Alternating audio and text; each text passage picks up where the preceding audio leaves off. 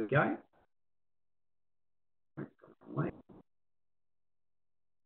There we go. All right. So for those of you who can't see Scott, there's a picture of him as well. Um, so our, our, guest speaker today is, is Scott Davies, uh, ex-Reading current player. Is that correct? That's the one, mate. It is indeed. Many thanks for joining us today uh, um, and taking some time off, uh, time out to, to, do this. I'm sure you agree that in the current climate, um, mental health is going to be very, very important. Uh, mental well-being and the importance of things like this um, can't be under, underestimated. Yeah, of course, it's massive. Yeah, especially with what we're all going through at the moment. Um, I was gonna say it's nice to get some time off from the uh, the fiance, mate. So an hour an hour tonight is quite nice. so the, the format today, if that's okay, is um, do a couple of questions. Feel free to, to talk uh, as much want. We want to hear your story today. Um, and then I've got a very quick presentation, um, and then uh, we're going to open it up for, for question and answer. Yeah, yeah thank you for everyone who has um, put in a question already. We've got four or five to, to, to basically start that section off, which is great. Um, but if anyone else obviously does have any questions, please do ask them. We want it to be as interactive as possible.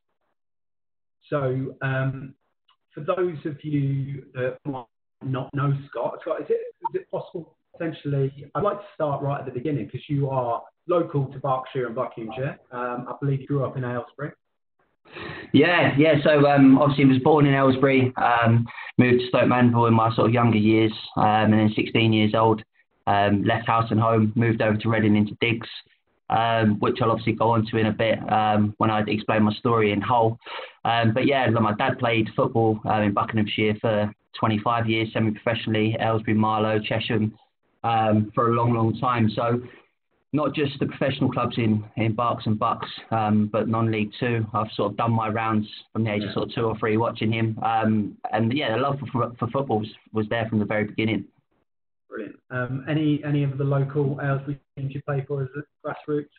Yeah, my my uh, first ever team was Bedgrove Dynamos, um, so it's quite a successful side. Um, Dave, who's obviously on here uh, watching tonight, will know that five or six of the lads from that Sunday League side, I was quite fortunate. We all went over to Wycombe um, at a young age, and we actually made that transition together, which made it so much easier. Uh, it felt as though we were playing in our Sunday League side, but at a professional club. Um, so fitting in and the transition was, was, was kind of seamless. Yeah. So how did it all start at Reading? How did you get scouted maybe in the L's? Yes, so um, eight or nine years old, I was playing for Watford, um, and the centre was shut down. Uh, it was like a centre in Aylesbury. Uh, they couldn't afford to fund it any longer, and Wycombe said that they were going to take the centre over. So I sort of had an opportunity to go to Watford on trial, um, or stay with my mates and and crack on at Wycombe, and that's what I chose to do. Um, I was there for four or five years until the age of 14. And I remember walking home from school one day, um, and my dad said to me that Nas Bashir had been on the phone he just recently got a job at Reading, um, who was one of the coaches at Wycombe. And he said, listen, we want to take you over on trial. And I remember the first session that I went over on trial. I left there thinking, do you know what? I'm nowhere near these these lads' levels. They're bigger than me, quicker than me, stronger than me. And the thing out of all of those things, I thought they were better than me. So straight away, I thought to myself, do you know what? I preferred being sort of a big fish in a smaller pond um, than being just a number in a bigger pond. And a few months down the line, um, I was fortunate that compensation was paid, um, and I went over to Reading. I remember going to school the next day and telling all the girls because I thought to myself, do you know what? Um, I want people to know about it. It was a good ego boost. Um, but then I suffered with uh, stress fractures in my back from the age of like 14, 15. So I was out for pretty much a year. Was getting out of bed in the morning, going to school, but I was crying. I was in absolute turmoil in terms of the pain. Um, but fortunately for me, because they paid the compensation, um, they obviously saw some sort of talent, I suppose. Um, and for me, I was quite fortunate that it gave me a scholarship. So, off the back of that scholarship, it meant moving out of home at 16 because I couldn't afford to commute from where I was living in Aylesbury. Um, there was no way of getting there, there was no direct train or bus route. So, I remember packing my bags, crying my eyes out, leaving my parents, thinking, do you know what, I've got to do it because from the age of five or six, all I wanted ever to do was play football. Um, and I moved in with a fantastic family. Um, Ali and Mark were their names. They had a little girl. And I remember the first night going to sleep thinking, this is so strange. Like, what is this gonna, what is this gonna be like? And for me, there's only so much TV you can watch. There's only so much, uh, so many computer games you can play. How so I needed to. at this point? So I was 16. I was 16. Um, so it was only four days after my last sort of GCSE. I remember sort of uh, my mates were going away, having good summers, long summers before sixth form started. Uh, but we were straight into the thick of things with football. Um, so there was no respite. And then, um, yeah, I was lonely and big, so I won't, I'm not ashamed to admit it. that I was homesick. I missed my parents. I missed my friends. Um, and where I was living, there was lads scattered all around Reading, but I was kind of isolated where I was. Um, there was no one else nearby, and I thought to myself, I hear of the lads getting together after training every night and going to play PlayStation, going for a kickabout down the park or whatever it may be. Um, but where I was, it was it was kind of by yourself and just sort of get on with it. Um, but what I found difficult off the back of that was obviously boredom, um, not much to do. So I started to walk to McDonald's out of all places every single night um, and get myself a McFlurry. Um, and on the way back, I remember going into the bookmakers one evening. Uh, I was two years younger than what I should have been, and I sat down um, on the sort of uh, chair in front of the fixed odds betting terminal. I was only earning fifty pound a week. That was my scholarship money, and I remember losing it um, instantly. And I thought, what have I done? Um, I thought to myself that I could win some money, but I couldn't. I walked outside the shop. I rang my mum and I said, "Listen, um, I've spent fifty pounds uh, on a pair of trainers this afternoon in the shopping centre. Can you lend me some money?" Straight away, she transferred me some money over, um, and I lost hers. And I thought to myself, "Well, that needs to be a learning curve. I need to sort of stem the flow of gambling already. Um, but little did I know I was going to go on and spend uh, nearly a quarter of a million pounds on it over the next 10 years, um, which obviously crippled my mental health. So that was the beginning of it. Um, I feel like I've got a question coming. Um, yeah, well, we're not too dissimilar in age. I remember quite vividly um, going through some some similar things when we were 16, 17. The the lure, the, the, the gambling industry was very much there. It was so very easy. Um, kind of was there. I don't know how to say this, but um, how did it from obviously 16 with 50 pounds, obviously escalate to that? Yeah, so well, the, the thing that happened off the back of that was I'd wake up in the morning, I didn't have one pound twenty to get the bus into town um, to go and meet Whopper, the minibus driver. Um, I don't know if, how many of you know him, but obviously works at the club for years. And I used to bring up the physio. It was a, a, a lady called Mel, and I'd say, "Listen, Mel, I don't feel well. I'm not coming in today." But the reason why I wasn't going in is because I thought to myself, I don't want to have to walk into the town centre, which used to take me about two hours to go and catch the bus um, because I couldn't be bothered. So I'd skip training. Um, the following day, I'd get to training I'd get punished for it because I'd turn my phone off and just put it face down and go back to sleep. So that's how I dealt with my problems um, at the beginning. However, some mornings uh, we were quite fortunate that where I lived in Calcot in Reading, um, we were actually training at Bradfield College, which was probably about three or four miles um, through Freehill and up the hill. So I remember leaving one morning to get to training at half past four. Um, I put my rucksack on and I walked to training because I'd obviously gambled my money away. Um, but I didn't learn from that. I just carried on doing what I was doing, thinking that gambling would get me out of it. It would give me a nice life. Um, but fortunately for me at the time, I was actually doing quite well on the pitch. Yeah. So all of that was kind of masked. Um, got pulled into the manager's office and they said they were going to give me a professional contract. And I thought to myself, do you know what? Whatever I've got going off the pitch, um, I haven't got any money in my account and I'm, I'm sort of a bit, bit down and a bit homesick. All I need to focus on is my football. Um, and for the first probably seven or eight years after that, I could get through it um, until one day it all just hit home with me. Um, and I thought to myself, I can't carry on living this life. So um, yeah, it was very tricky at the beginning.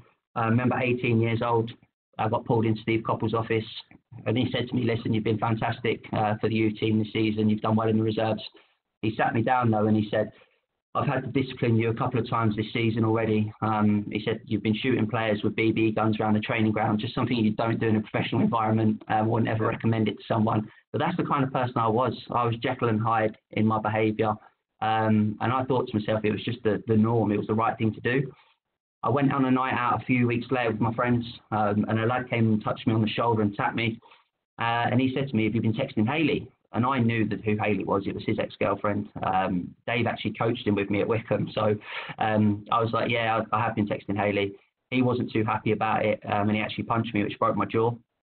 So that for me um, put me in a right pickle. I remember going to training on the Monday morning uh, with a broken jaw. Steve Coppell walked past me down the path and he said, listen, come and take a seat in my office. So I sat there like a shrinking violet in the chair and I thought to myself, how is this going to end? He said to me, listen, you've got one year left on your contract. Um, he said, you've obviously been involved in something at the weekend. I don't know whether it was a fight or you've been assaulted. To go and save your career, you need to go to the police. You need to press charges to prove to us that you haven't been fighting. So it didn't really sit well with me yet again. Um, I went to the police and the lad got done for GBH with intent um, and he should have gone to prison. Um, but I didn't want imprisonment on him because I'd obviously had my part to play in it. Yeah. I went back to um, the club uh, the following pre-season thinking that everything was going to be rosy. Um, and he pulled me in again. He said, listen, I haven't forgotten what's happened. Um, he said, you're going to go out on loan for the whole of next season. you're basically going to go and grow up because I don't want you around the place.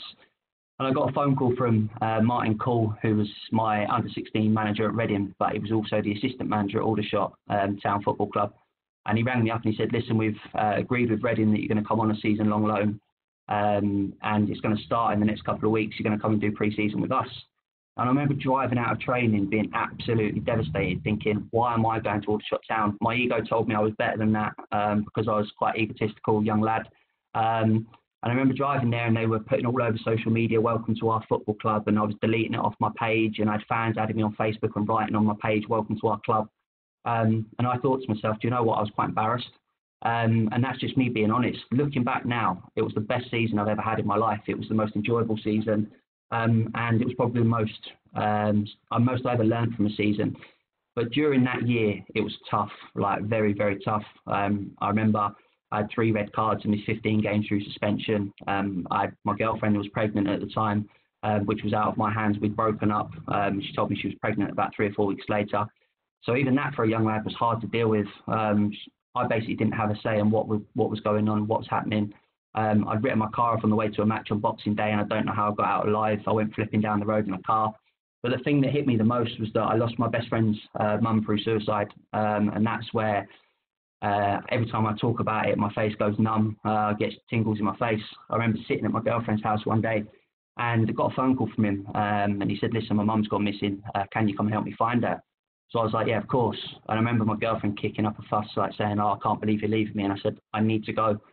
So I got around the house and I found um, these tea towels that were soaked with blood in the kitchen. Um, and I thought to myself, what have I just seen? I shouted up to him, Have you been in the kitchen? And he said, No. Um, immediately, we went down the hospital where my mum turned up and came and met us. And the doctors and nurses had told us that she'd self harmed that day and she was due back in the following morning for plastic surgery. And we stood there in kind of a state of shock. Um, we went and looked around all the local train stations that night because she'd been found there before. Uh, but we went to bed about one o'clock. The police told us to stop searching. Um, 20 to 5 in the morning, they knocked on my parents' door my parents then knocked on my bedroom door where I was lying in bed with my mate, and I could hear my mum crying. Uh, we went downstairs. There was two police officers uh, in long jackets and hard hats, and they said to my best mate, "We're sorry to inform you, we found the body of your mum, and it's not good news." And I remember standing there feeling numb. Um, he didn't have any emotion. He'd lost his dad five years previous to this, um, and I thought to myself, "Do you know what? I need to be there for him." Um, and, and, I, and I was for the majority of the time. He's like a brother to me now. However, I went to training that morning. I didn't speak to my manager about what had gone on because it's not what lads do. It's, you don't open up and you don't show a sign of weakness. Um, but he pulled me in about three days later and he said to me, Scotty, he said, what's going on? And I sat in a chair opposite him in his office and I just started crying. Um, and he said to me, he said, I know there's something. And I told him exactly what had happened a few nights pre, uh, prior to that. He said to me, go and have a few days off. He said, we'll sort of come back, he said, and we'd kick on again. So I thanked him for it, and that's exactly what I did off the back of that, I probably did the most deceitful, dishonest thing in my life that I've ever done. Um, it's not the biggest thing in the world because my mate would understand. But he had some money in his account a few months after that, and I was driving out of training. I was gambling every single day, and I'd run out of money because that's what gamblers do. I rang him up and I said, "Listen, I've had a car accident. I've crashed into the back of a FedEx van." I said, "Can you lend me five hundred pound uh, if possible?" He uh, transferred me the five hundred pounds. I went straight to William Hill. I lost the five hundred pound immediately still to this day, I've never told him the truth that there was never a car accident. I made a car accident up in my head um, to be deceitful, to be dishonest, to be able to get money off him, which just shows a level of desperation um, where I was, and that was at 19 years old.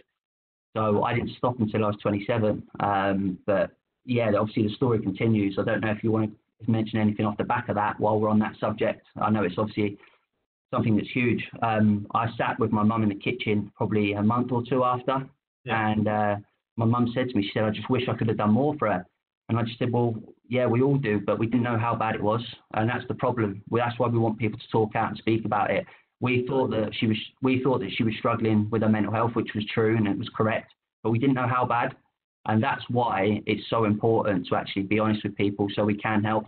If anyone does watch this, whether it's now, whether it's um, off the recording, and you listen to this, there's so many people out there that are willing to listen, um, and you won't get judged for it.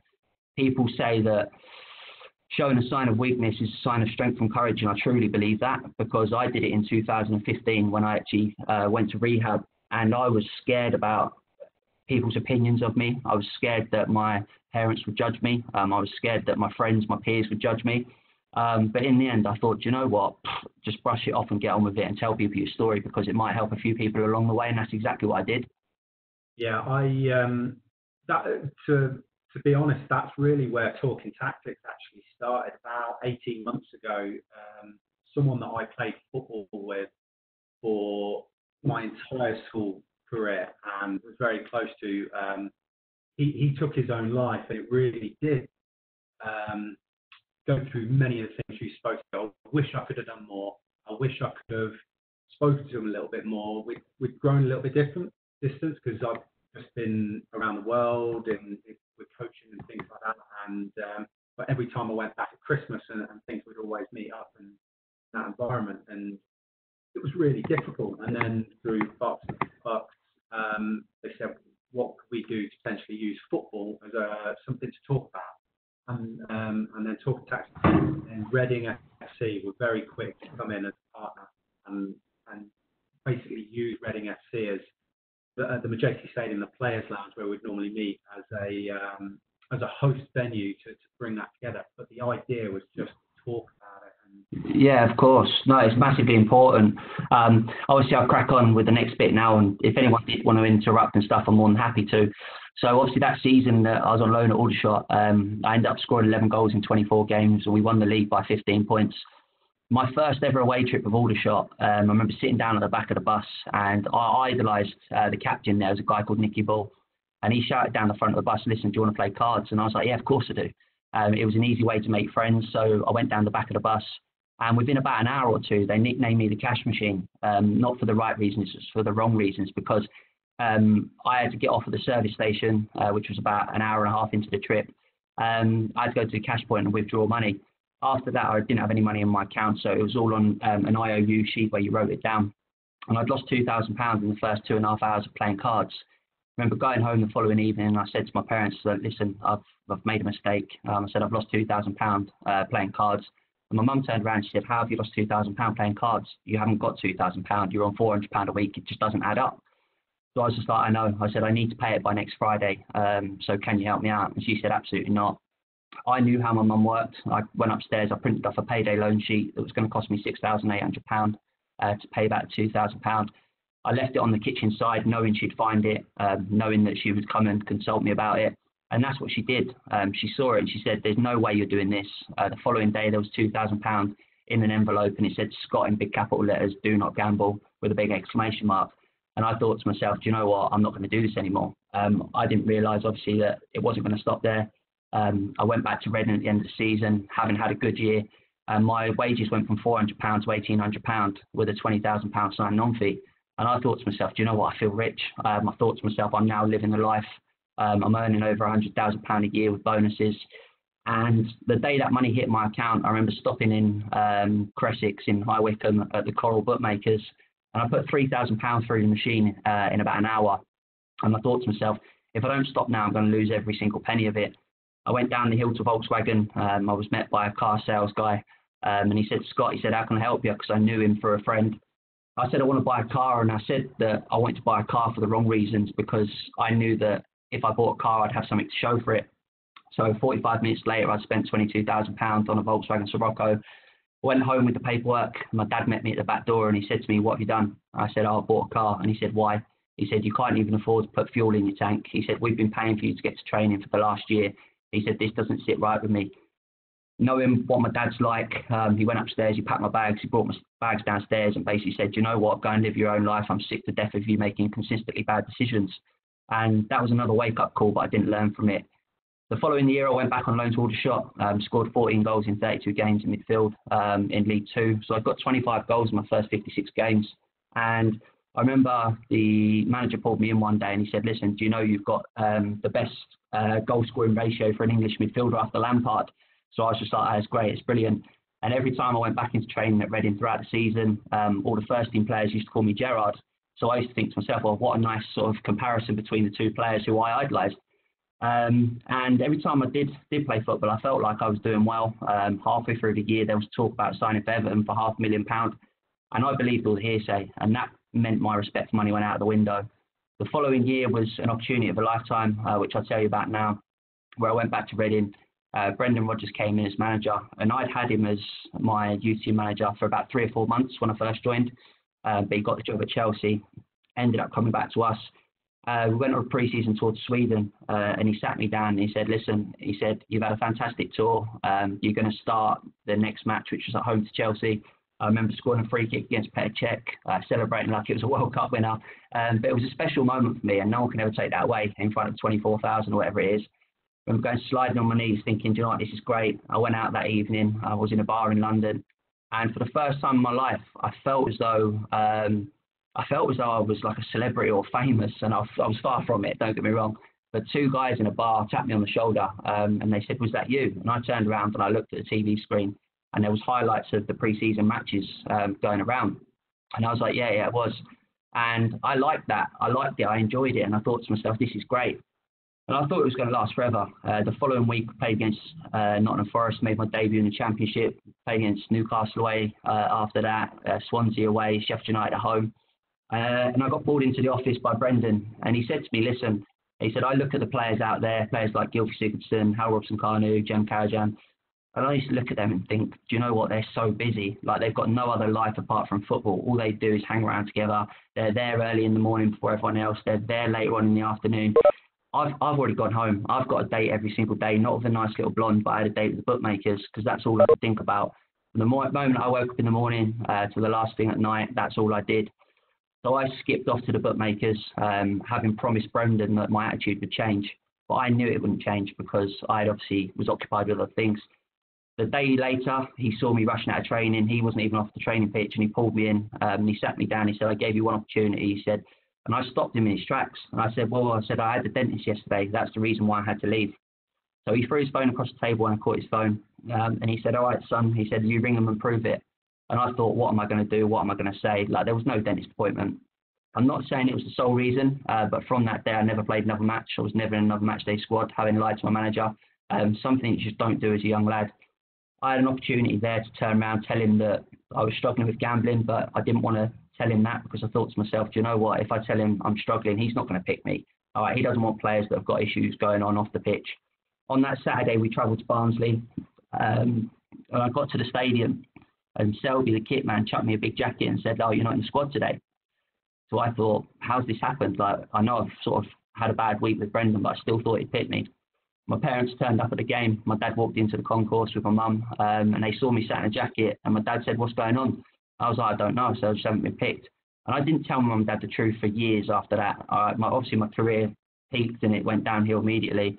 Um, but I didn't want to tell them. I thought to myself, "Do you know what? I'm too ashamed to tell tell them." So I ended up getting kicked out on loan. Uh, Brendan didn't want me around the club. And when I went on loan, it was one of the hardest things because you're living in hotels, you had not much to do. Um, I went on loan to Bristol Rovers first, and that didn't go well uh, because of my gambling yet again. So we had Leyton Orient away on Saturday. Uh, we got beat 4 1. Uh, there was a guy called Dave Penney that was the manager, and he said, Listen, no one is going out tonight. We've got MK Dons on Tuesday night. So we got back to Bristol quite late, and I had £700 left in my bank account. And I tried to get online uh, to put some bets on and this old hotel I was living in, the Wi-Fi was awful, so I couldn't really do what I wanted to do. So I jumped in my car, I went to the casino, um, and withdrew the cash. I lost the 700 pounds in the matter of half an hour, 45 minutes or so. But I like being in the environment. So when I was in there, they started to give me beers and vodkas, and I was thinking, I've got my car with me. So what do I do? Um, but I carried on drinking. I was stood behind all the people playing blackjack and roulette because I got a buzz out of them playing it. About quarter to four in the morning, I got in my car um, and I drove home blind drunk, uh, which I'm obviously not proud about and I don't condone. Um, I got back to the hotel. I walked up the stairs, and as I was walking up the stairs, I was wobbling all over the place, and I fell into a door on the left-hand side. Um, when I fell into the door, I kind of shut it and walked back along the corridor to my bedroom. And I went to training the following morning. The manager pulled me in and he said, "What did you do last night?" And I said, "Oh, I just had a McDonald's. I said, I watched match a day." And he said, "Are you sure about that?" And I said, "Yeah." I said, "Positive. Why?" And he said, "All right, come with me." I went downstairs and he had his um, he had his phone in his changing room um, and he showed me CCTV footage of the hotel. I didn't realise that night that the assistant manager was staying at the hotel and actually fell into his bedroom door um, where he was staying with his wife. So I got to obviously caught out lying yet again. Um, but I look it back now and think, well, if I didn't need to go and have a bet at the casino, I wouldn't have left my room and I would have been safe. I'd have been I'd have been sound. Um, but he basically told me to go and pack my bags and get back to Reading when I got back there, I sat down opposite the manager. Um, I think it was now Brian McDermott because it had changed over. Um, and I sat down and he said, What's happened? He said, You've sort of come back a week too early. And I was just like, I didn't like the boys. I didn't like where I was staying. The football didn't suit me. The food was awful. And I blamed everything other than myself. And I knew that the common denominator was me. I knew that I was the issue. Um, I then went to Wycombe, the club that they, sold me at 14. Gary Waddock had then joined Wycombe, who was manager at Aldershot.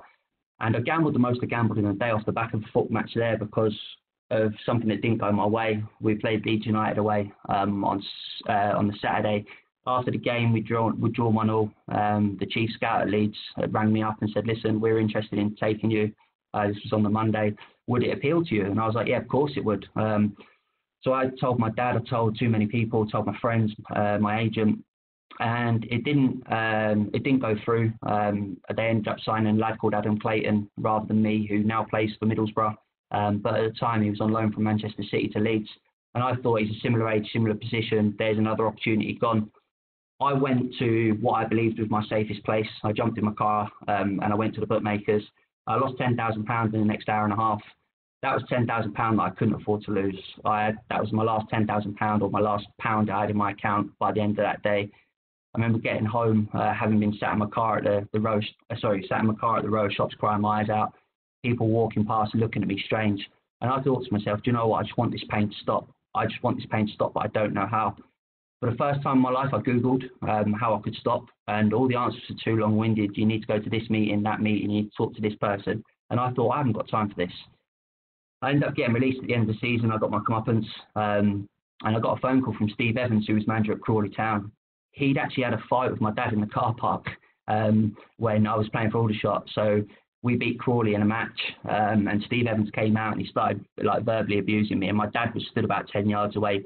Um, he obviously didn't realise this, so they ended up sort of squaring up in the car park. And I thought, I cannot believe, sort of two or three years later, he's ringing me trying to sign me. So it was quite surreal. But he sat me down and said, "Listen, I want to make you um, my first signing of the season. Um, I want to basically financially reward you." Um, so he gave me £30,000 to sign that day, which was incredible amount of money for League Two. Um, but all it enabled me to do was gamble even more. The £30,000 went into a savings account with my parents. My mum was now looking after my bank card because she'd seen that I'd obviously transacted £10,000 in a day. So I was treated like a child. Um, I was left sort of 20, 30 pounds on the side each day. But I went on pre-season tours to Portugal. Um, I played my first match for the club um, against the Portuguese Premier League side. And after the game, the manager started screaming and shouting in my face, and there was spit going in my eye. And I thought to myself, do you know what? I cannot handle this. So I got up and I um, swore at him, and I carried on walking away from the group. That evening, I went down to dinner. Um, I sat there with the boys, and the manager turned up and he said, Scott, he said, you're not eating with us. He said, you're not training with us. You're not socialising with us. He said, get back to your room, ring your agent, um, and tell him to get you a flight home. So I rang my agent and I said, listen, I've had an argument with the manager. He's told me I'm never going to play for the club again, uh, even though I just signed a two-year contract on £1,500 a week. Um, I said, what do I do? He said, just stay there. He said, I'm sure he'll let you train by the end of the week, but he didn't. So what I did um, off the back of that is I took my mate's laptop that we were in the room together and I started to gamble, just thinking it was a normal thing to do it, pass the time of day. Um, I got back to England and I went round uh, show home in Stoke Mandeville with my mum and there was a plot 121 in the corner, which was a four bed townhouse. And my mum was saying to the show home owners, he saved up almost £32,000 um, with her help. Um, and I thought that's not true. I'd gambled away about £10,000 that week in Portugal. So I thought to myself, I've got a bit of a conundrum. Um, do I try and win the money back or do I just leave it? So I tried to win it back. From the first bet that I had in Portugal to 15 days later, I gambled £32,000 away, every single penny of it because I was a gambling addict, but I was still in denial. I didn't want to admit it to myself. Scott, I had said to my questions yeah, come in. Um, yeah. Did you try to speak with any other players about the gambling? No, not at all. Did you know I- if anyone else was in a similar situation within within the group? No, it wasn't really a gambling culture at the club. Uh, there was previous to that when I was in the youth team, but when I actually moved into the first team, um, it, there wasn't much of it going on. And because I'd been away from the club for two years, I was almost like a new signing, so I didn't really know where to fit in.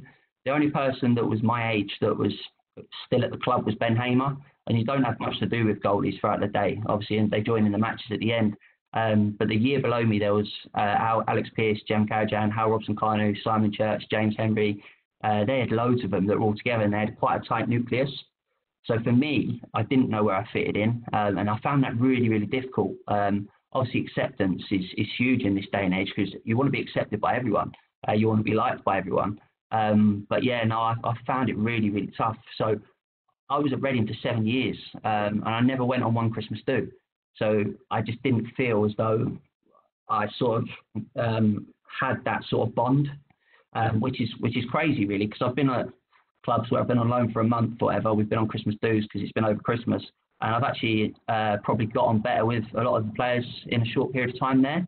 Um, probably because I was a bit different from the rest. Um, the lads that were a year or two older than me, um, there's a few lads like Johnny Hayes um, and a few other Irish lads. They were more, um, they were more my sort of era, I suppose. They were a bit sort of, um, a bit sort of different in their ways. They were a bit more mischievous um, and not as professional, and that's probably why those players didn't do as well as the the younger ones have. Yeah. Okay, great. Um, So- cut you off about Yeah. talking about. No, Yeah, that's fine. Yeah, so I had I had to obviously come clean to my parents that I'd lost the thirty-two thousand pound in fifteen days, and I remember stood in my uh, mum and dad's living room, um, and I started crying because that was the easiest way to sort of get anything out. Because if you're crying, people aren't going to shout at you as much. So I told my mum and dad exactly what had happened, um, and she said to me, "You need to go and get help." So that night, I went to a Gamblers Anonymous meeting in Watford. Um, I didn't want to go to a local one to me because I was sort of ashamed or I was a bit anxious um, whether people would know me in my local one, and I didn't want them to know that I had an issue with gambling. So I travelled about 40 minutes. Um, I got there, and the first guy that spoke had done a street robbery and taken uh, someone's Rolex to fund his gambling. And I thought, you're an absolute lunatic, mate. What am I doing here? So the second guy that spoke, um, that had been stealing from work and cashing in checks. And I thought, you know what, I've heard enough. I thought to myself, I'm nowhere near as bad as these guys. I'd never do that. Um, so I actually left the room that night and I wrote a letter on my granddad's life and it said, on my granddad's life, I'll never gamble again. And I signed it and I dated it. I didn't, didn't gamble for the next four days, which was the longest I didn't gamble for 10 and a half years. And I was so proud of myself. I thought to myself, do you know what, that's some kind of like achievement.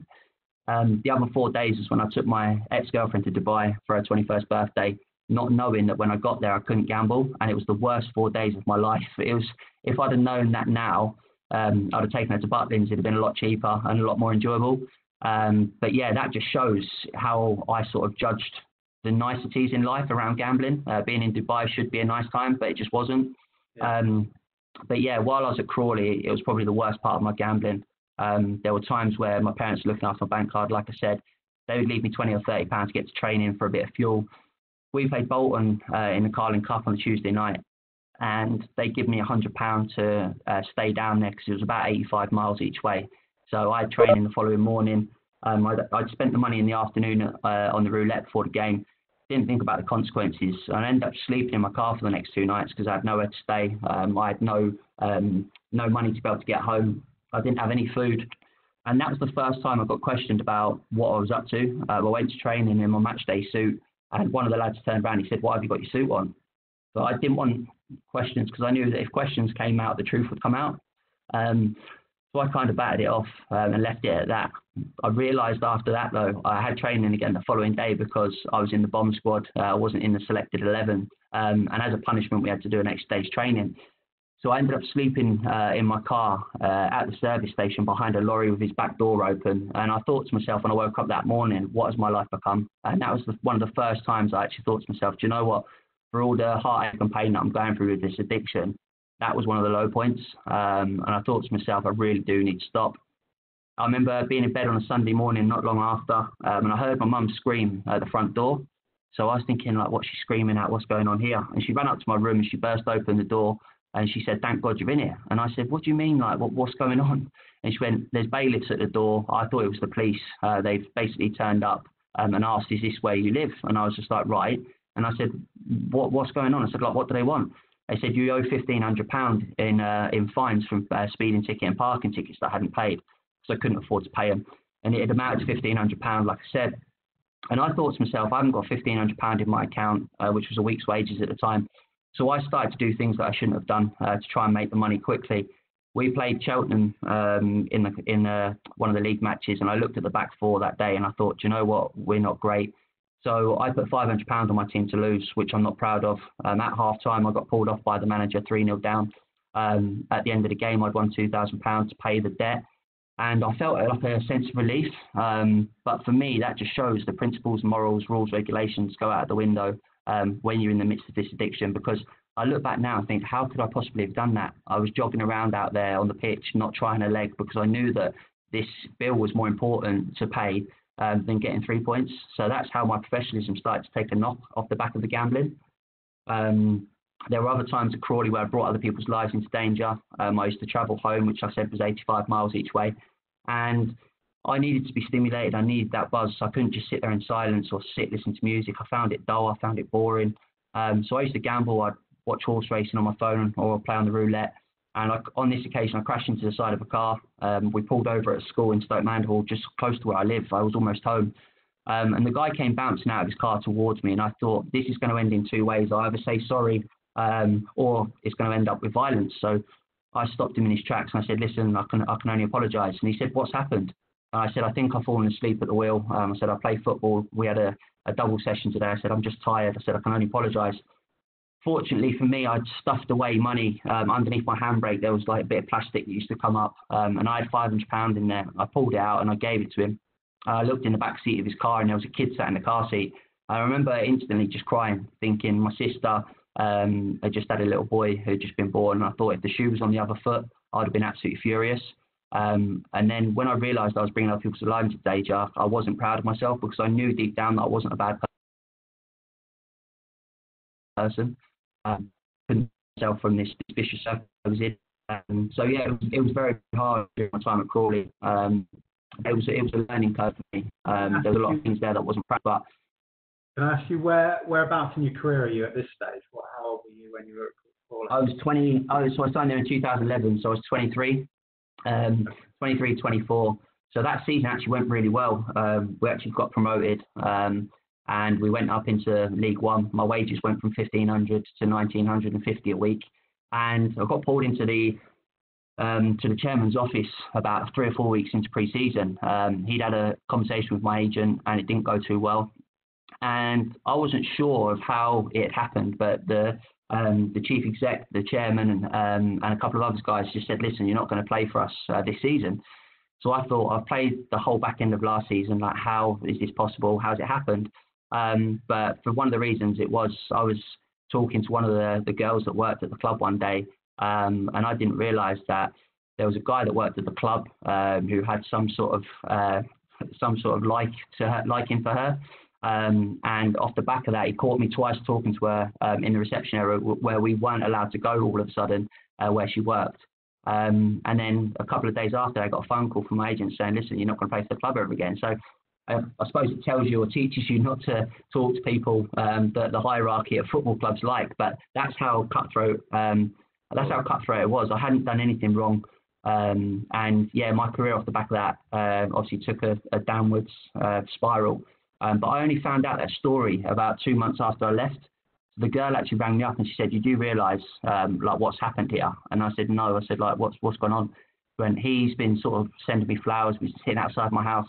Um, you've obviously been caught talking to me twice when you're not allowed, and then all of a sudden you've been told you're never going to play for the club ever again. So what can I do? You can't prove anything. Um, you can't sort of ask him to change his mind because um, I'd already left the club. So yeah, it was it was very very strange. Um, but he pulled me into the, the office at Christmas time, which was six months later, because I'd just been training every single day. I hadn't played any matches that year. And he said to me, How often are you going to keep coming to training uh, without sort of like getting bored? When are you going to leave? And I said, I'm not going to leave. I'm on £1,950 a week. I said, I'm not going to get that elsewhere. So he pulled me in on December the 20th and said, listen, there's £28,500 to leave today. Um, I shook his hand and I drove home for Christmas. So I had a good Christmas with my sort of friends and family. Um, I went to the bank at the beginning of January um, with my parents and I sat opposite my bank manager um, and I said, listen, I've got um, almost £20,000 here because I'd gambled away some of the money during the week uh, before that. Um, I said, I want to get a mortgage. And he sat there and he laughed and he said, how can I possibly give you a mortgage? He said, you've gambled £10,300 um, in the last 30 days looking at your bank account. He said, you live in your overdraft, you pay fees every month. He said, from tomorrow you haven't got a job. So I thought, yeah, fair enough. My dad was in a privileged position that he just retired from the police. He'd had a pension. Um, and he basically trusted me to do the right thing. He said, if you can promise me to pay the mortgage, I'll get it in your uh, get it in my name for you. So I was just like, right, okay. I said, if you could. July that year, um, I moved into a two bed flat, um, and my dad and well, my parents lent me between fifty and sixty thousand pounds. As simple as that. They paid for all my bills. They paid for my mortgage. They paid for my car. They paid for my car insurance. The nights out. I was going on nights out with my mum's bank card because I didn't have any money, um, and I was on two thousand pound a week, sort of a few months earlier. So I needed to keep up that um, that reputation. I needed to keep up that sort of image that I had. Um, I thought that, or people thought, just because he drives a nice car, he's got a nice watch, um, he's got a nice wash bag, that I had money. I didn't have anything. I was completely skint. Chris Wilder gave me an opportunity at Oxford. Um, he brought me into the club uh, in the summer. Um, he sat me down and said, "Listen, there's £800 a week. I know that we're one of your local clubs." And during that season, I really suffered with my mental health, um, not because football was going badly, but there was one day in training where one of the lads turned around and he said, Scott, he said, you're absolutely killing us. And I looked at him and for the first time in my life, I felt numb and I thought, do you know what? I don't want to be a footballer. I don't want to have these boots on and I don't want to be in this environment um, because I felt so worthless. I felt so um, sort of devalued. And I looked at him and I didn't say anything. Um, I've done this talk at different football clubs um, since I've obviously come out of the game, and he was in one of the sessions. And I said, "Do you remember at Oxford. I said, when you told me I was useless, he went, yeah, yeah. I said, I said, I do remember sort of having a bit of an argument. I just said, mate, I said, I sort of um, was suffering with depression at the time. Um, I said, but I didn't tell anyone. I said, but looking back now, I said, like, I just want to kind of apologise to the person that I was. So I had kind of a bit of a vendetta against him um, because I didn't think that he was my kind of person. He was very professional. Um, and I struggled to actually like people that were doing the right thing because I couldn't do that. Um, but at the end of that season, Gary Waddock could come in with a month to go um, as manager. So I'd had him, had him for the fifth time. Um, he brought me in at the end of the season and said, listen, there's one game to go against, I think it was Plymouth away. Uh, he said, you're not going to play. He said, because I know about you as anyway as a player. You know I like you. So I was just like, yeah, happy days. So what I did um, was basically relied on him. I trusted him to give me a new contract. Um, we booked tickets to go to Magaluf at the end of the season, me and all the boys uh, from the football club. He pulled me into the office at the stadium and I walked in there and I started laughing. And he didn't laugh back and that was quite unusual for him. Um, and I thought this isn't this isn't normal. Um, and he said Scott he said this is one of the hardest meetings I've ever had to have with a player. He said but there's nothing here for you he said I can't I can't do anything. Um, and that spoke volumes I knew that as soon as he told me that there was nothing here for me I had to kind of um, trust his opinion I had to value his opinion because listen, at the end of the day, even though he released me that day, he's still a very, very good bloke. He's a very good friend of mine. Um, yeah. But that, that basically told me where I was. So we went to Magaluf um, later on uh, that day. I remember being on the fl- uh, plane with the boys. We'd had a few drinks. We got to the hotel in Spain, um, and I went to pay for the taxi for me and two of the young lads. And I'd lost my wallet uh, on the plane. My last £500 of my life was in that wallet. Um, I got upstairs uh, into the hotel lobby, and one of the lads uh, called Alfie Potter turned around. He said, "What a day you've had! You've got no wallet and you've got no job." And for me, it just hit me for six. I didn't obviously stand there and laugh like the other ten lads were laughing. They were rolling around on the sofas, thinking it was the best banter in the world. Um, but I put a brave face and I went up to my room. I rang my mum, crying my eyes out yet again. And I just said, Mum, I said, I've lost my wallet. I said, I've got no money. I said, I'm in the middle of Mallorca. And she said, Listen, I'll transfer you some money. You can have a time away on me and your dad three hours later, four hours later, I was in a taxi on the way back to the airport and I was flying home because I refused. I said I didn't want to be there. I needed to get out of it. Over the next few weeks, um, I was waiting for my phone to call. Um, I had a call from Cheltenham and Northampton. Um, the managers at both those clubs had spoken to my agent and asked him if I had a gambling problem. And I was like, I like a bet, but no more than anybody else. Um, players got back to pre-season at professional clubs. I still had no phone call. Um, I was sat in Nando's, and and a manager from uh, Dunstable rang me called Tony Fontanelle. And I thought, I don't know who's ringing, but I picked it up and he said, It's Tony Fontanelle from Dunstable Town Football Club. Um, we'd like you to come down tonight so we can have a look at you. And I thought, why are you ringing me? There's no way I'm going to go and play for Dunstable. That was my immediate reaction because that's the, that's the kind of person I was. So I thought, you know what? I've got no option. I had to go and play that night, and we played against Hemel Hempstead. And after the game, he said, listen, we'll give you £450 a week in an envelope. And I thought, right, okay. And I stood there, I shook his hand reluctantly, um, and I signed for Dunstable. My first ever match for Dunstable uh, was in front of 87 people when, sort of four years previous to this, I was playing in front of 45,000 at Newcastle away. And I couldn't accept it. I couldn't understand how it had happened.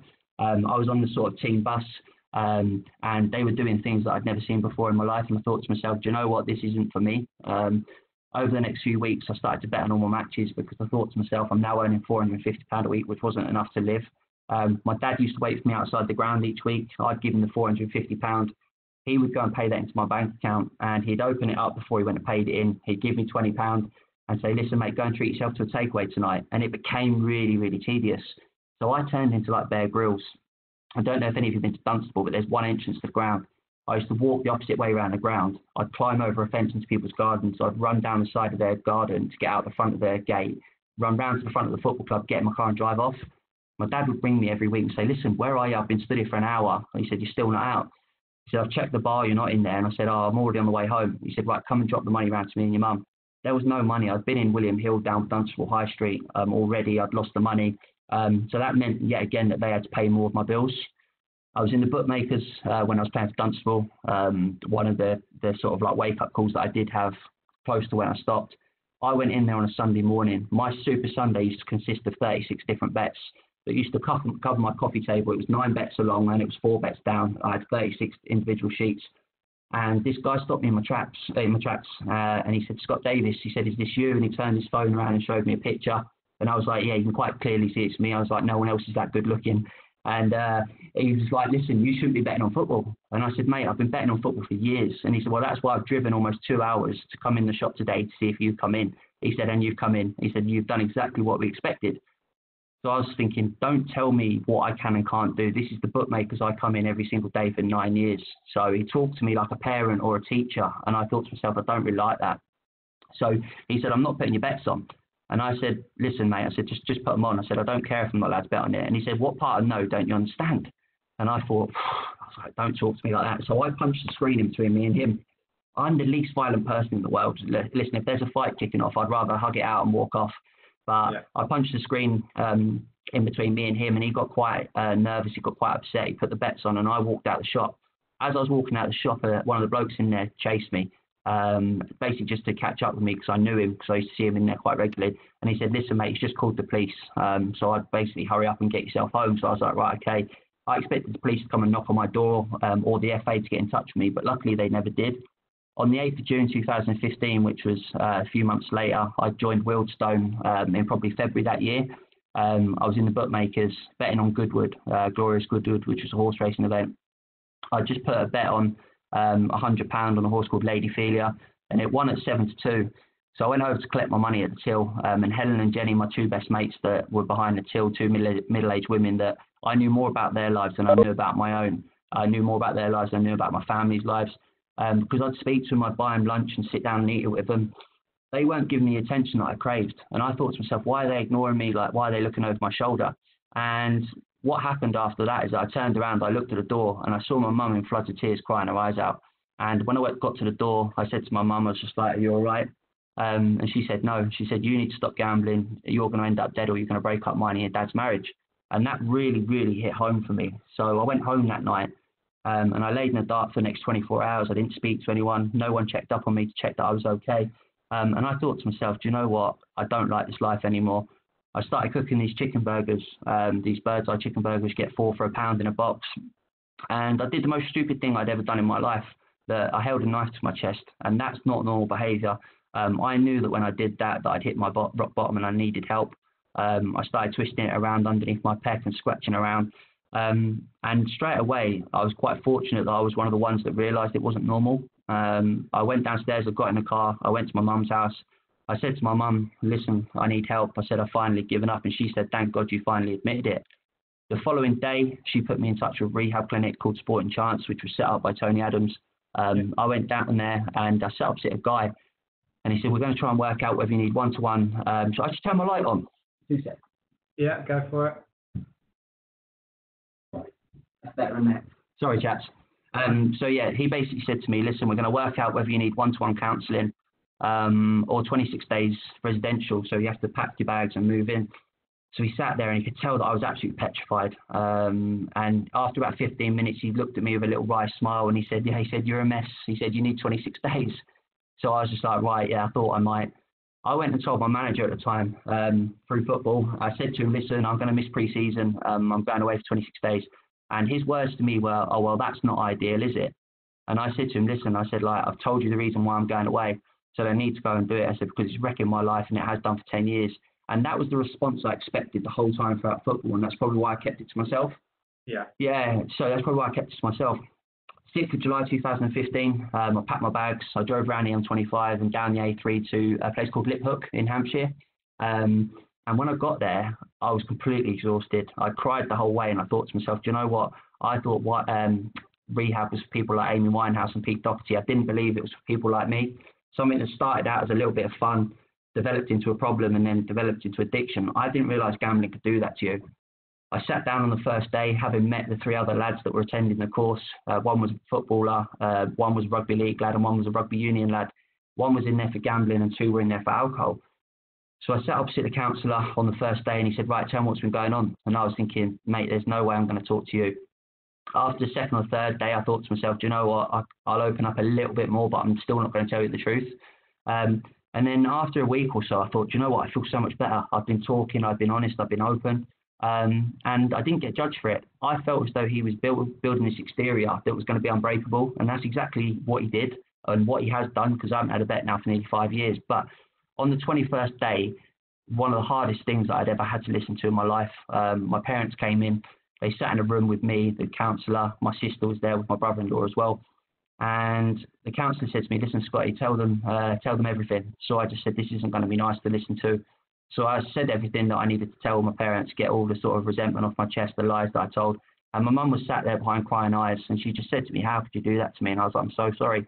My dad then said, "Right," he said, "From today," he said, "if you do not stop gambling," he said, "it's as simple as this. Me and your mum are going to disown you." And I sat there and I thought, "How has this happened?" I thought, "I cannot believe the people that I love most in my life that have brought me into this world." have said it. And I looked across at the counsellor, and the counsellor was kind of sat there nodding his head. And I thought he's obviously been the one that's told them to say that. And for me, it was probably the best thing I ever heard because I knew that I couldn't go back to being the Scott that I was. Um, and it was what I needed. It was a kick up the backside. Um, and that sits with me every time that I think about gambling in the early days that I did. I thought to myself, do you know what? Do I need a bet as much as I need my mum and dad? No. Um, they were the best medicine that I could have ever asked for, and that's the best medicine that I ever got given, um, along with talking. When I came out of there, um, I got a pen um, on the 8th of, Ju- 8th of September at a Gamblers Anonymous meeting. And on this pen, it said, Congratulations, you've reached 90 days without a bet. And I was flicking it around at home, and I was like, What do I do with this pen? And I was so ashamed that I'd gone to rehab that I thought, you know what? I'm over it now. I want people to basically get better if they need my help. So I put it onto uh, Facebook, and there was about 1,300 likes and about 300 comments. People saying, "How did you stop gambling? My husband's got a problem. My son's got a problem." And I thought, you know what? I'm not the only one. So after a while, I actually found sort of a sense of relief and a, a sense of satisfaction that other people were struggling too, because I thought I can help them, and that's what I did. I then got approached by um, Sporting Chance, which was the rehab clinic, to go and tell my story. I did it at Norwich City for the first time in my life, and I was absolutely in bits before I was doing it. I remember driving there, uh, sweating, I had a headache, thinking, what am I doing? Going back into a football club, talking to players that I know, um, telling them my story when some of the amounts just don't add up from what they were earning. They were in the Premier League at the time on sort of like 50 grand a week, some of them. Um, but someone once told me it's relative to what you earn, um, to what you gamble. And I was like, right, I need to remember that. So if I'm losing £800 a week on £1,000 a week and he's losing £16,000 a week on 20,000, it's still 80%. Right? And that's the way I needed to, to figure it out. So I did it. I did the talk and it went down really well. Um, and I loved it. I loved it after. And I thought, you know what? I want to do this more often. I ended up becoming the public speaker for the rehab clinic. Um, I was chatting at an event up in London. Um, there was loads of MPs and stuff in sport there. And a guy came and approached me and he said, listen, um, I've got a company up north called Epic Risk Management. Um, we've got a new project to go around to all the uh, football clubs for the next five years. We need to go to every club once a season for five years, and I want you to run it. And that is the biggest positive that I've ever taken out of this is now that I've turned it into a job which I absolutely adore. It connects me within football. I still get to go and see all the lads um, and stuff like that. So I've done all of. A couple of questions yeah. for people that might link into this. Um, yes, please do. Obviously, you, you, have uh, you've talked a lot about there, but there's um, a couple of questions where reflecting. Is there one thing that you would do differently or tell a, your younger self? Oh, to be more honest, to, be, to probably show more of a sign of weakness. I never got told from a young age, but I always thought from a young age that if I had any problems, you bottle them up and you deal with them yourself, um, because that's what blokes do. That's one of the, the my best, my favourite phrases, I guess, that that's what blokes do. It's just the norm. I've never been in a football environment where I've said to a lad in the morning before training, "How you, mate?" and he's gone, "Actually, mate, I'm not feeling that great." Yeah. It just doesn't happen. Um, whereas now, I've probably um, instilled it into my mates that if there is anything wrong, you make sure you pick up that phone, you talk to me. I'm not qualified to deal with problems, but I'm qualified to talk, as we all are. All right, we've all been given a voice. You can all give your opinion, whether it's the right one or the wrong one. Or at times, you don't even need to give an opinion. You don't need to give advice. You can just listen. Um, so for someone to say it to get off their chest um, could be the most important thing. I would like to think now that if I had the same opportunity again, I was given the same money again, the same environment, had the same opportunity at Reading with the same people, I'd like to think that I would hand over my finances. Um, that would probably been one of the things that I could have controlled better, um, which probably, probably would have enabled me um, or disabled me to gamble. Um, because as a young lad, you think. Is it a bit about knowing that? Were you in that space of mind? Did you know that that would that have helped? Like, would you well, have ever have done that? Do you know one of the things that sticks out of me is I played a match for Wycombe against Southampton, and after the game, I got Adam Lallana's shirt, and I gave it to my mate, and he was like, "Are you sure?" And I was like, "Yeah, yeah." I was like, "You have it." I said, "Like you're a Southampton fan," and I said, "I'll get it off him next time I play against him."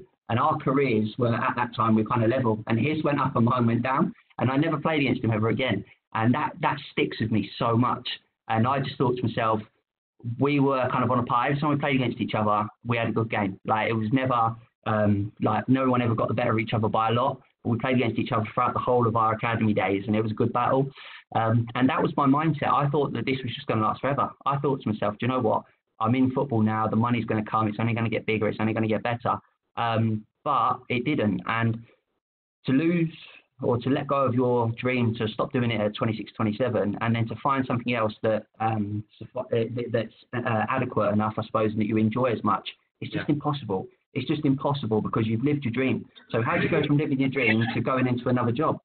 Um, but for me, what I do now is the closest thing to it, and, that, and that's hand on heart. I can honestly say that. But I had like a two-year period where I was building beds. Like so, obviously when I came out of rehab, I needed to rebuild my life. Um, I was quite fortunate that PFA funded me to do a university degree. Um, so I did that from home to kind of fill that void of gambling every day that I gave me something to focus on. Um, luckily for me, uh, she's in the next room. I don't know if she's listening, but I was swiping away on all these dating websites. Um, and I came across my missus. So I didn't know she was going to be a missus at the time.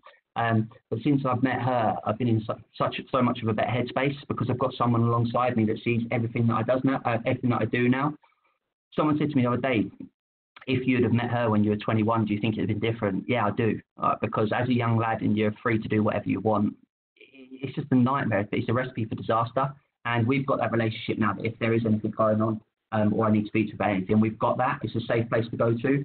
Even though I had that with my parents, it felt like it was too close to home. Um, Dave knows what my dad's like. He's the best guy in the world, but he's quite a big bloke. He's quite, listen, we just get on with it. We're blokes. Um, but it was only a couple of years after I came out of rehab. He texted me when he was on holiday, having read Tony Adams' book called Addicted. And he texted me saying, listen, he said, I've just read the book and I completely understand what you went through now. Um, he basically said, oh, I want to say I'm sorry and I love you. And I was just thinking, like, he's never ever said that to me in my life. Um, but he said it because he couldn't understand how I could part ways with, I don't know, one, two, three, four thousand pound a day. He could put five pound bet on uh, lose it and it would break his heart because that's the kind of person he, he was. We had different values of money. Um, but when I did come out of rehab, like I said, I met Hannah. Um, we got engaged a couple of months ago, which is great. Um, I filled that void with, with obviously um, going to university. Um, obviously, playing for Slough now has been brilliant. Um, I love football now as much as I ever have because I obviously play with a clear mind, got no worries going on in the world. I enjoy it as much as I ever have. But the thing that I had to rebuild was the relationship with my mum. And that probably took a longer time than, than all of it. She said to me a month after I came out of rehab, I feel like I finally got my son back. And I remember standing in the kitchen and I said to her, like, listen, don't be stupid. I've been here the whole time. And she turned around to me and she said, what does your sister do for work, Scott? And I didn't know the answer. And I should know the answer because it's my sister.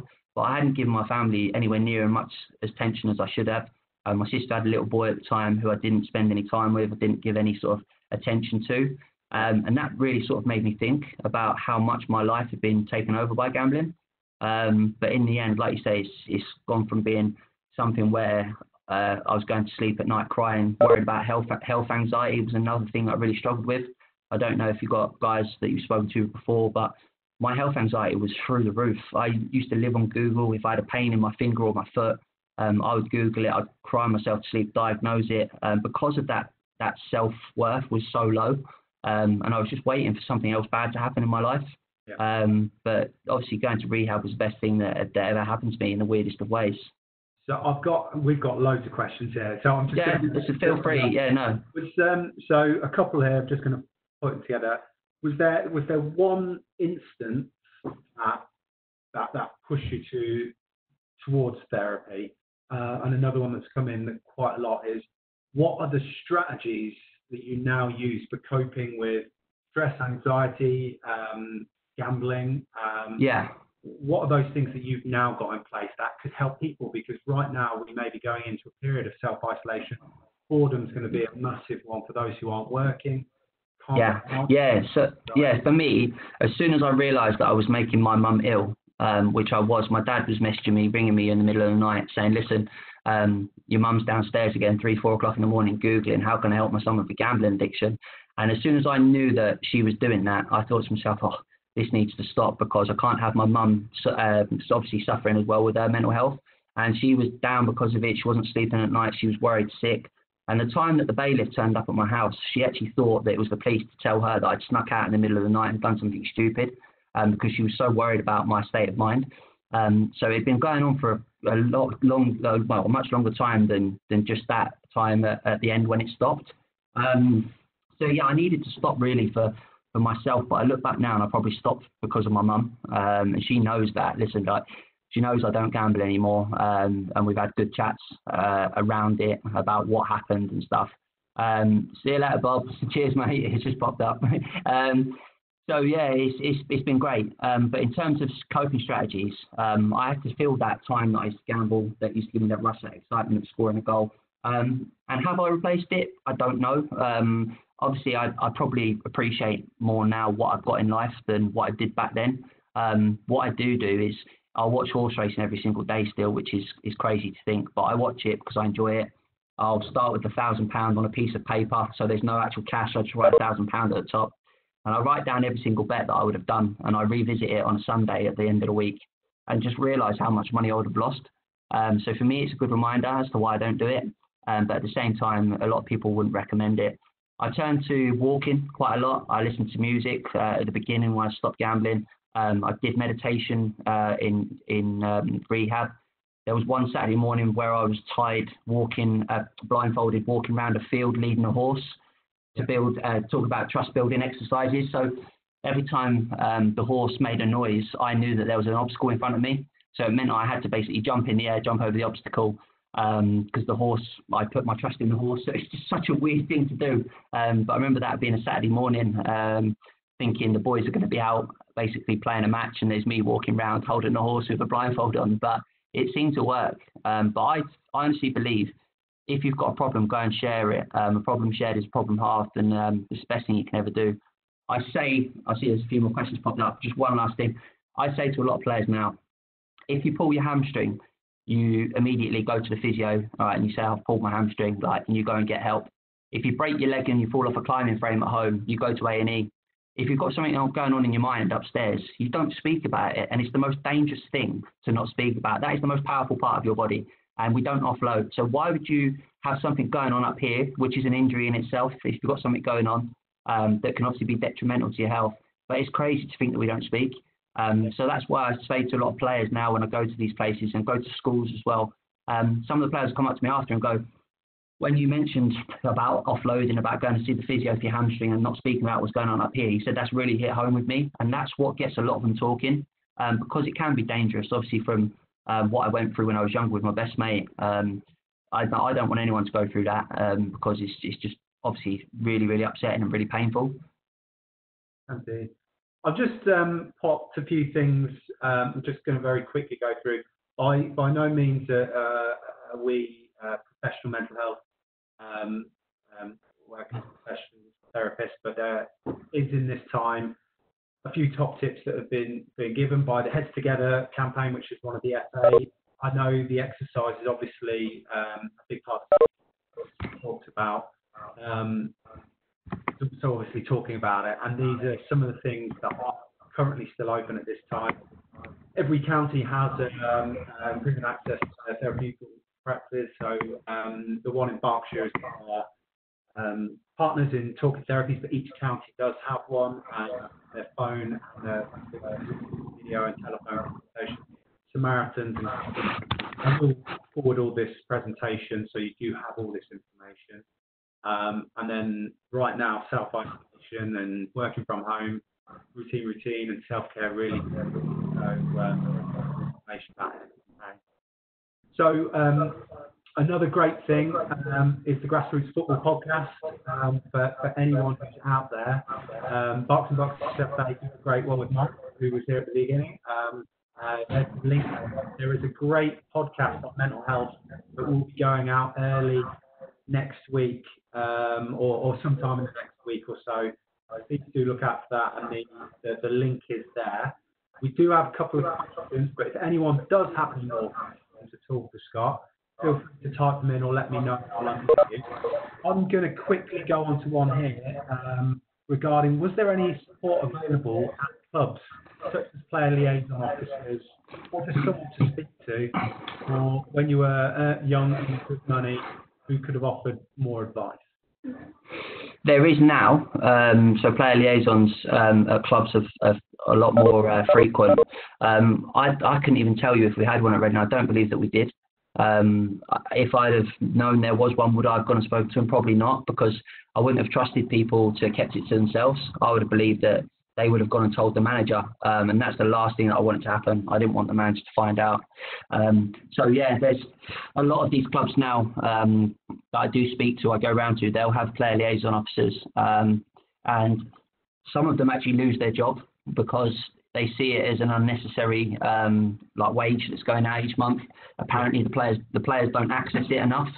Um, so I actually spoke to one uh, lady who was doing that at a championship club who lost their job. Um, the players would much rather talk to someone who's been through the mill, um, who's got a lived experience story like myself. So they would be more comfortable coming to speak to me after a session um, than they would going to speak to a, a, middle-aged lady who's who's never placed a bet in her life because they understand how we work. Um, a lot, a lot of players uh, get in touch with me and just basically say, listen, I need to chat um, because it's getting out of hand or I'm struggling with this.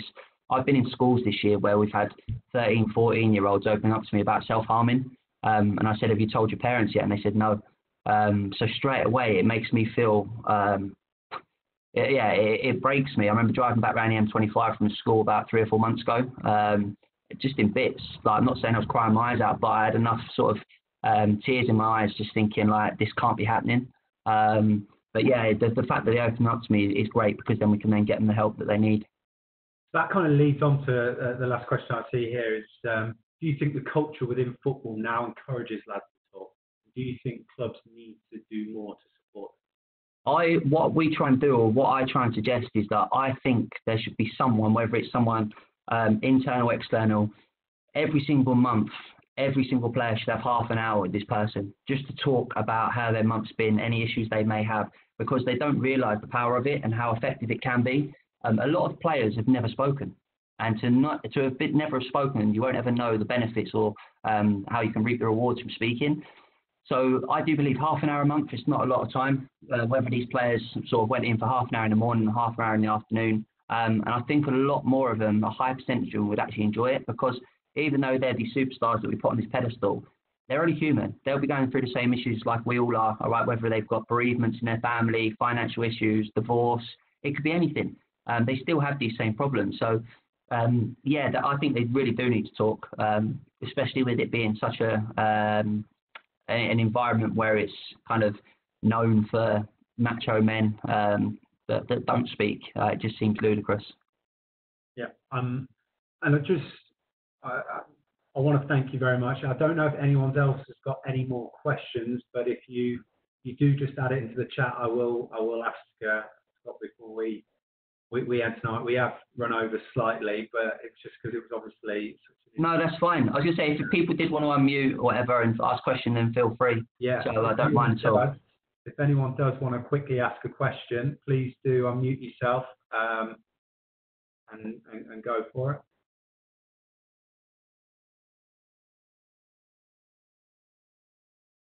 They've had, they've had enough of me now, haven't they? Look, 75 minutes done. Hi, Scott. Oh, yeah. Hello. It's Richard here, mate. You all right? Hi, um, mate. Very well, thanks.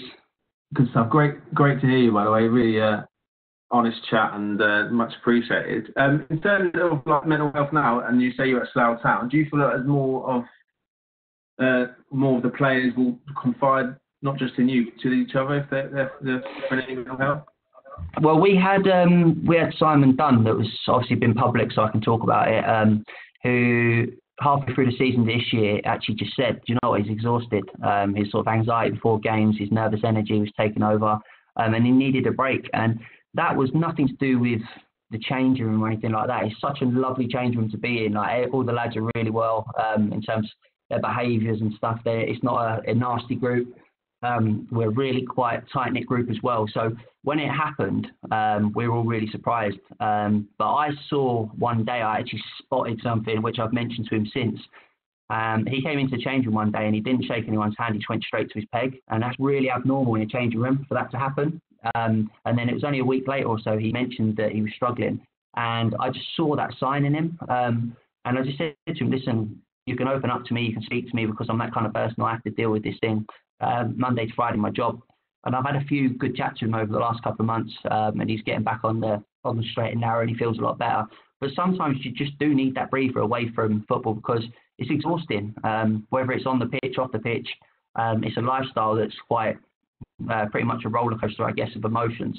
Um, but I would like to think now that anyone can open up to me. Um, I get a lot of young lads that are football fans jumping in my inbox on Facebook, on Twitter, and things like that, saying, um, I've seen your story, I've read your stories, then chance for a, uh, a phone call. So I spend half my time travelling to these clubs, but I'm on the phone to 17 year olds in Peterborough, 18 year olds in Margate, whoever it may be that I've never met. Um, but yeah, listen, I'm not saying that I'm a hero or anything like that, but I just want to help as many people as I can.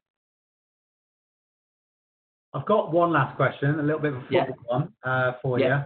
And it, it, it came in uh, on a pre uh, registration form. It's uh, why do you keep embarrassing goalkeepers across the country by scoring in your own half?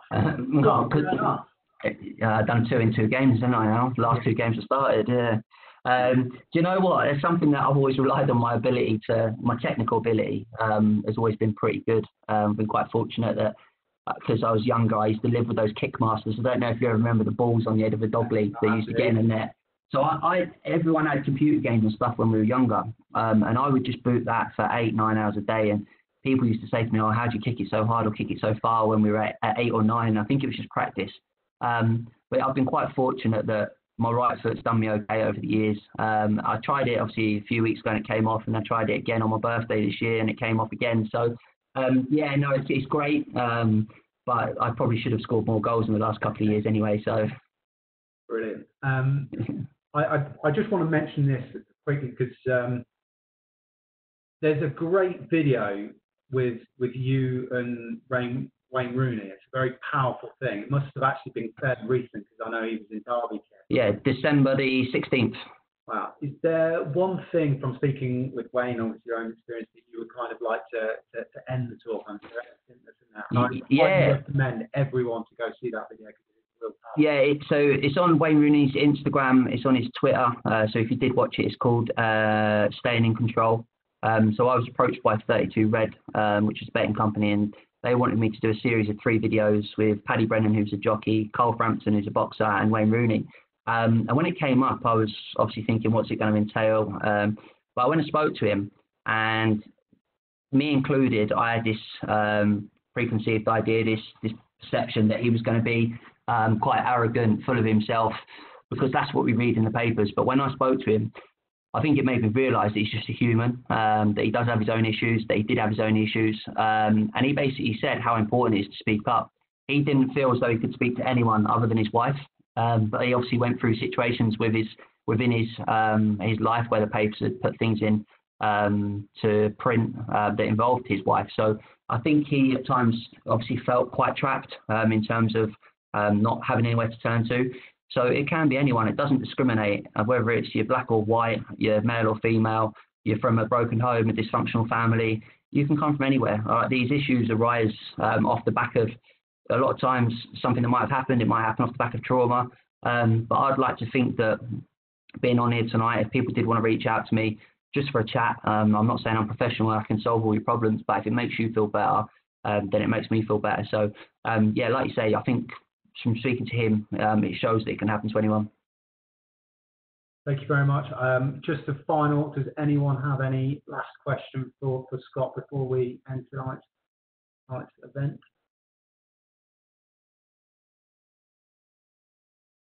Um, Scott, I want to thank you very much for this. It, it's at this time, obviously, it's mental well-being is, is massively important. So we are going to record this. Um, it is going to be available for people to, to continue to um, to record. But I want to thank you for your time and. Um, and no, thank you. Um, I was going to say it's my, my pleasure coming on. Um, if I can do anything in the future for any of you, just give me a shout.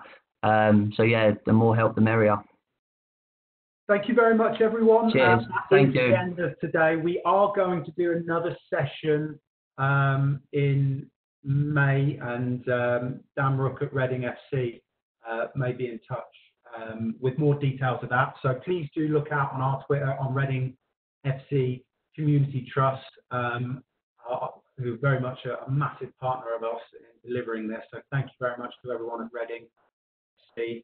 Um, we do hope to see everybody soon at the Madejski Stadium. That's obviously what we do do. Usually we meet in person with a cup of tea and watch a Friday night match. Unfortunately, we can't do that right now. But I want to thank you and uh, everybody.